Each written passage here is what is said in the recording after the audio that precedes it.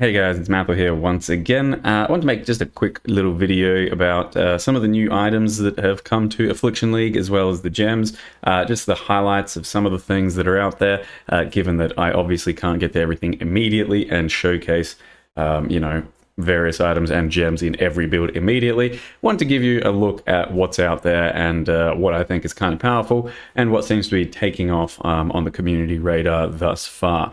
So um, start with, I'll just show you this PoEDB. If you use this, uh, it does kind of aggregate aggregate the um, items from a particular league. If you're just on PoEDB, right, there's this thing. Uh, you just click on the Affliction thing, and then there's the Affliction Uniques, the new stuff from Affliction. Uh, you then click on Affliction items, and that's everything that's like new in Affliction uh, item wise.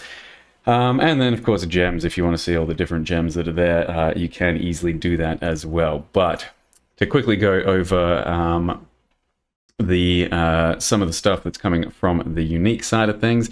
Uh, these boots pretty much trash. The Temptation Ring here can be good, I think, if you got a good crit multi-roll and you manage to land a good quality on that, which would be like crit. Um, which you're going to have to use a tainted catalyst for. So the ring is like 20c, then the actual thing itself, um, catalyst is like 20c, and then your chance of actually hitting one of those is like 1 in a 100 or some shit.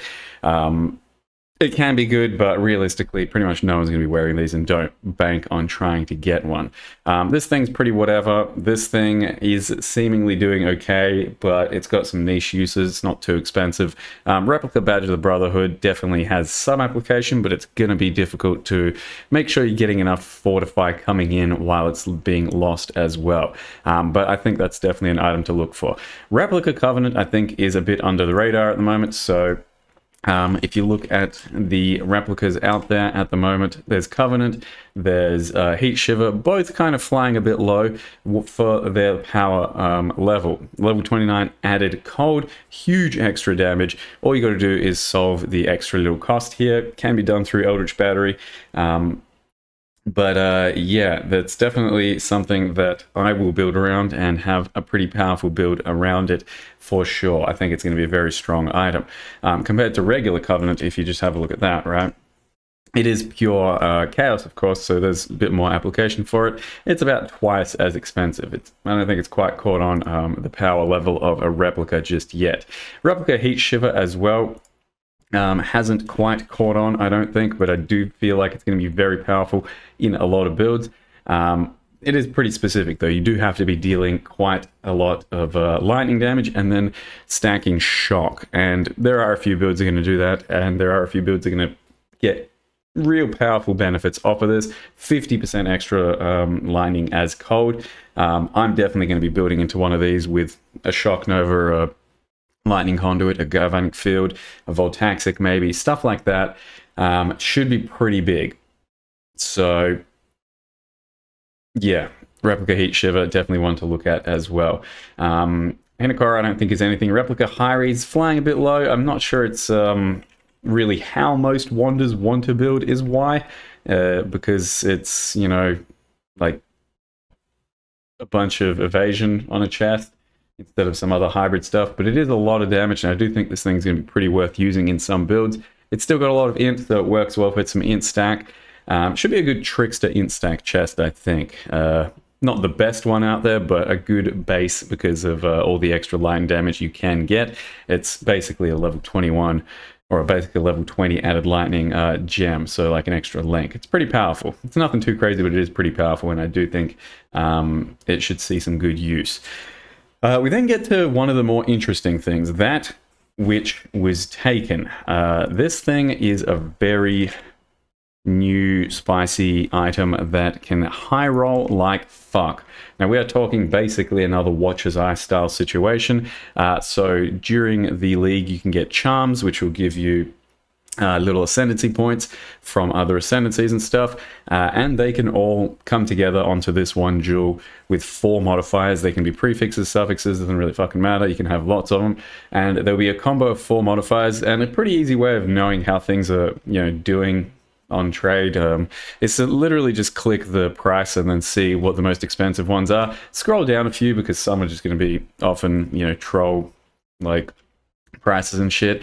But you can eventually come to see what some of the most powerful things are on um, the price scale and then see what's actually popping off in that sense. So some of the most powerful modifiers are for sure and very rare ones. Skill Fire Additional Proj, um, Strength, Strength. So this one's it's pretty damn good. I don't know if it's two mirrors good, but it's pretty damn good. Um, Suppress is going to be really good. You're going to have um, increased effect of marks, the Fizz's extra random element, the penetration, the onslaught. Basically, there's a lot on there that's going to be really, really good. There's like poison duration, there's the crit power charge. Um, this does give you a good idea of what can be done on the uh, charms that you'll find out there in the wild that you absolutely need to be checking your vendors for every time, just in case. Uh, this thing is a boss drop, though. I'm pretty sure of the like end game boss, so um, you're not just going to randomly come across it. It will be from a boss. Um, but these things are definitely going to make some waves because uh, the high roll on this thing is very powerful and it just takes a jewel slot, you know. Uh, we then have um, another stuff, another boss drop, I think it is, Burden of Shadows. Um, there's not many out there, so it's pretty rare, and I do think this one's going to be pretty niche use, but has potential to be very powerful. A lot of extra chaos um, from your life. So if you're stacking like 10k life, you know, it's 2k extra um, chaos and it's got synergy with sacrifice. Uh, but then you've got to fix a lot of things in the build. But ultimately, it seems like it could be pretty big, especially for some chaos level ignite stuff.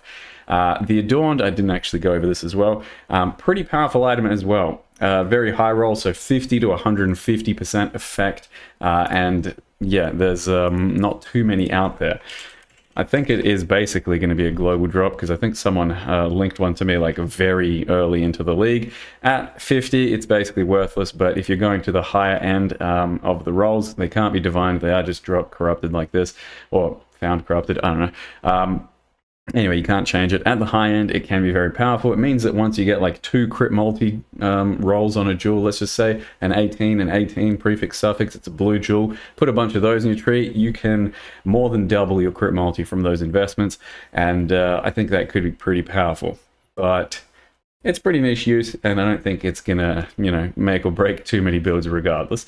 So there is that thing. It's pretty cool, um, and um, that's about it. The rest doesn't really matter, I think. So that's basically the uniques. If you're looking at items in general, um, you know, tinctures are pretty damn good. They can roll certain things that become um, really a bit more expensive. So the expensive stuff you might be looking for um, on tinctures, let's just say the kind of build I'm looking for right now, and uh, playing poisonberry tinctures, so they do all poison. If you then do poison and non-duration, um, poison afflicted, on non-poison enemies. This mod here, if it's a pretty high roll, it's very desirable and it can be worth a good bit on your poisonberry tinctures. Other than that, nothing else is going to be too expensive. Um, on most other tinctures, I'm not sure there's anything too crazy expensive except for maybe some explode action. Once again, you can do simply um, look things up by going like, uh, which one?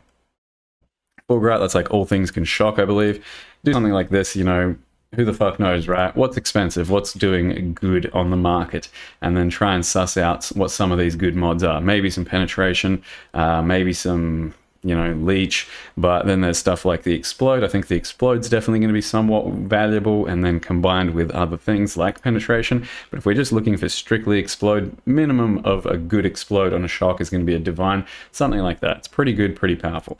Uh, we then have um, for the most part, if you're just going to scroll through these items, there's going to be a few tinctures, and we don't really know. The new heist bases um, can be pretty damn expensive. So if you're looking through a lot of these, like a focused amulet, that thing is going to be crazy expensive. So far, from what we've seen, they're not too common. So there are not many of these on the market.